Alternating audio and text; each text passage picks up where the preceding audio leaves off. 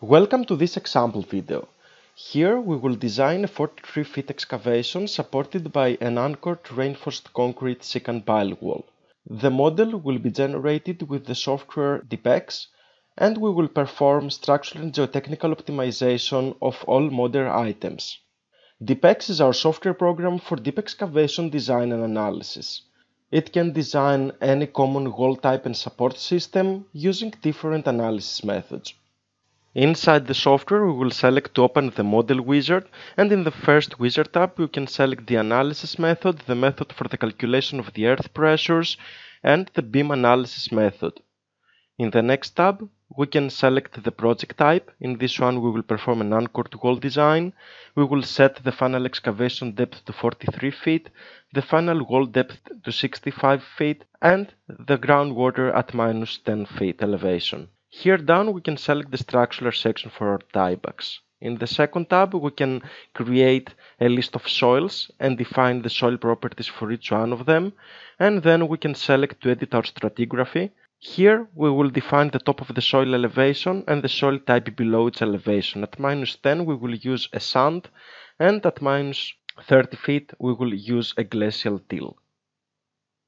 If we close this dialog the software will keep our changes and in the next tab we can define our wall section type. We edit the section and in this example we will use a reinforced concrete secant pile wall. We select the option and in the concrete rebar tab we can change the pile diameter. And here we will use 24 inches and we can define the longitudinal and shear reinforcement we will leave the selection 6 rebars number 6 and we will use number 3 rebars every 6 inches as shear reinforcement.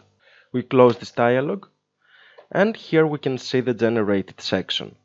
In the next tab we can define the depth for each support level. We will use a tieback row at 8 feet below the surface, 20 feet below the surface and 30 feet below the surface.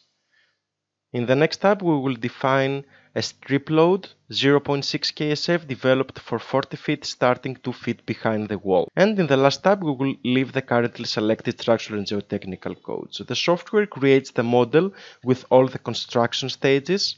Here we will perform the analysis and in the calculation and checking summary table that appears we can review the most critical results.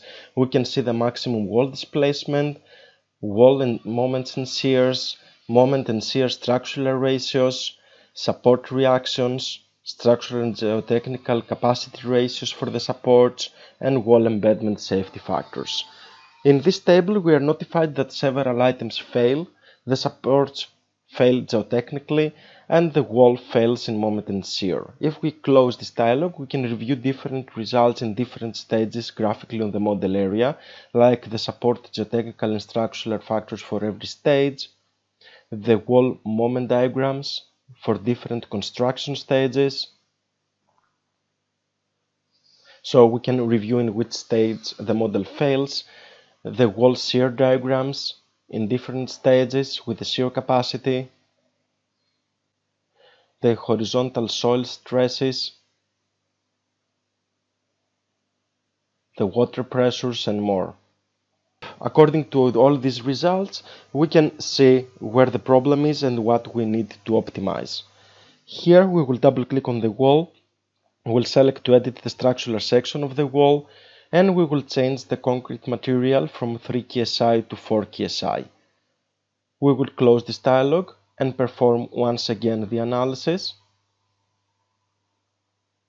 And here in the analysis and checking summary table, we can see the new results. We see that the results are a little bit improved, but the issue remains.